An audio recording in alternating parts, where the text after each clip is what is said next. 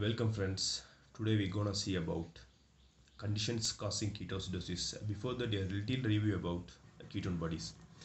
Normally if you see ketone bodies in the urine you will all think of it is a DKA and the patient will die of uh, ketoacidosis. It is uh, true for some extent but it is not always the rule.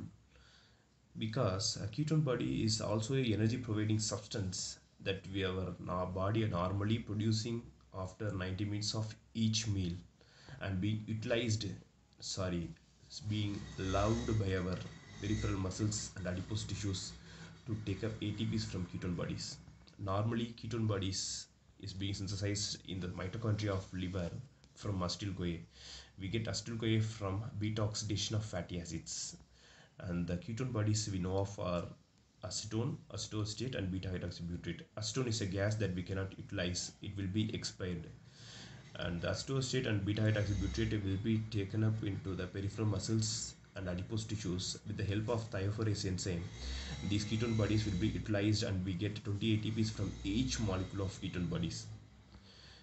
Uh, with this, uh, we move on to the conditions causing ketoacidosis. In alcoholics, uh, alcohol is being converted to aldehyde, aldehyde to acid. During this process, we get enough amount of NADH.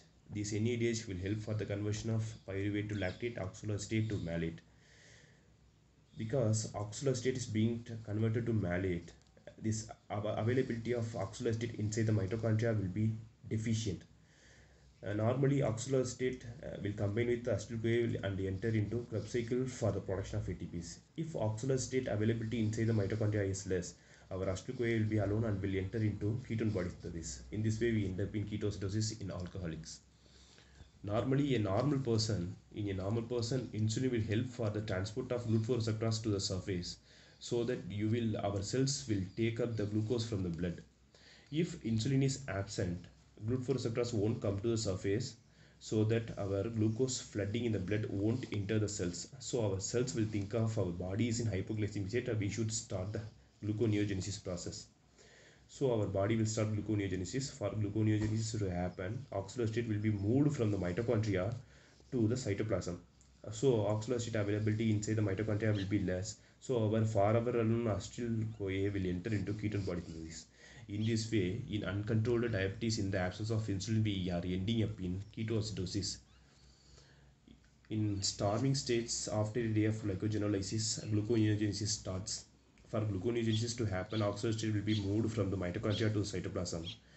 So oxaloacetate availability inside the mitochondria is less. Acetyl-CoA will enter into ketone body synthesis. In this way, we are getting ketoacidosis in starvation but uh, ketone body is being produced in starving states uh, for energy providing mechanisms so don't consider ketone bodies is always a dangerous person it is being utilized and loved by the peripheral muscles and adipose tissues our carry home message is acetone is a gas that we cannot utilize and will be expired and uh, ketone bodies is being utilized by our peripheral muscles and adipose tissues even our brain utilizing it for energy in starving states.